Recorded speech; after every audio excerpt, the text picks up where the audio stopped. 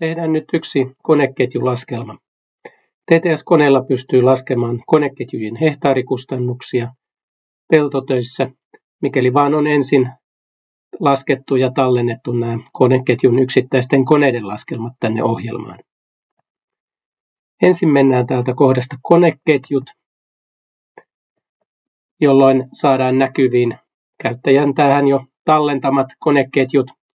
Kun halutaan tehdä uusi koneketju, niin klikataan tältä kohtaa uusi koneketju. Ja näin saadaan auki nämä kaikki konelaskelmat, mitä tähän käyttäjä on tähän ohjelmaan tallentanut.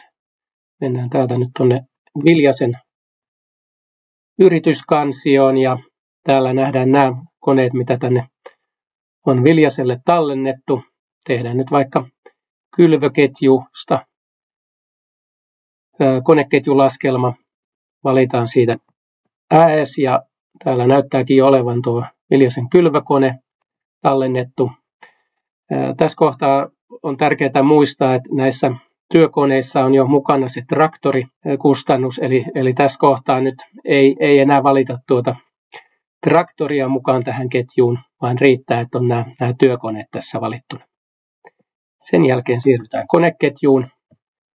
Valitaan vielä, että mihin kansioon tämä kyseinen koneketju tallennetaan. Eli nyt ollaan Viljasen kansiossa ja laitetaan tähän nyt sitten ketjulle nimi. No niin, tässä on nyt nämä kylvöketjun koneet.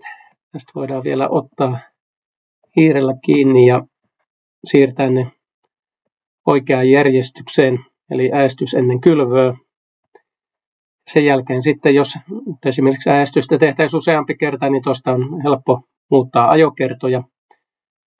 Ja tässä nyt nähdään koneittain nämä, nämä kustannukset euroa per tuntia ja euroa per hehtaaria kohti ja sitten nämä koko ketjun hehtaarikustannukset, veroton hinta sekä verollinen hinta.